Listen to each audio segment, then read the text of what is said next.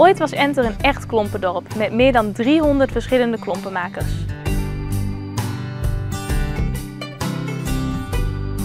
Dit is de klomp zoals iedereen hem kent.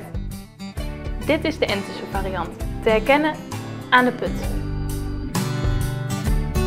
Dit is de enige plek in Nederland waar je nog de opleiding klompenmaken kan volgen. Maar dan ben je er nog niet. Het duurt gemiddeld 5 jaar voordat je een klomp kan maken.